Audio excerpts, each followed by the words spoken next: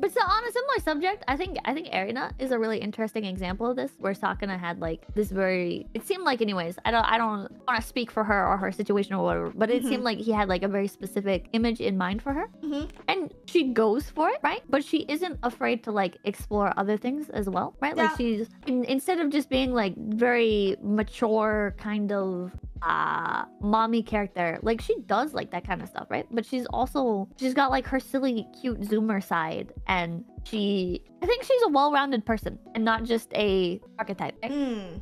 and i like to see that Mm, mm, mm, mm, mm, mm. i think i think a lot of people take the idea of like their character and stuff too seriously Erina's not a mommy character she's obviously designed to be a mommy character shut the fuck up don't be don't be obtuse dude don't be obtuse. look at her fucking look at her design still has the mommy part so i'm like reading your chat sorry No, no, all good, all good. Um, I, i want to know, argue with them Listen, there's only two. There's only two real VTuber archetypes, and that's tits or lollies. And you can you can you can argue about this. this.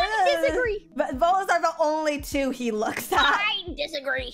I think the two archetypes would be mommy and gremlin. Uh, I think is just Erina. gremlin is just a variation of a lolly type. You got your gremlin lollies, you got your sweet lollies, you got your your daughter lollies, you got your like say so lollies that we don't call lollies, but they're still lollies. And then tits, you got your mommy tits. I'm a bit. got I'm a bit of a lolly connoisseur. All right. So I have a lot of opinions. All right. I don't think the VTuber spirit really even has many proper lollies. All right. No, no, And by the way, I pronounce it lolly, like Lolita, which is the fucking book that the term originates from. All right. And anybody who says fucking uh lolly, you know, like Dizzy here is cringe. But anyways, fucking lollipop ass eating motherfucker. Anyways, anyways. So with lollies, one of the few real lollies in this industry is Gato Bebe, right? Gato cat. is so cute. She's so cute. She's a real lolly. Even like, even like Himemori Luna, right? I don't think she's like real loli. Like people will look mean, at her and be like, oh, She's she's baby. she's she's she's baby, but she's not baby. like loli. She baby. Not like lolly. She baby. Fallen Shadow. I think Fallen Shadow is almost. I, I, I think I, I think she's pretty. Um, Fallen Shadow's a weird case. It's a weird case because I want to say I want to say she's loli, but at the same time, like there's, I don't know.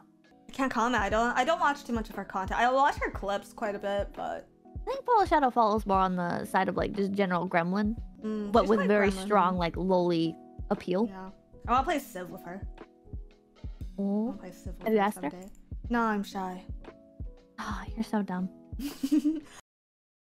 Everybody, everybody, make sure to sub, like, comment, and subscribe to Low Low Effort Clips. That's right, Low Effort Clips, right here on YouTube.com. Yeah, and hit the notification bell. Yeah, yeah, yeah.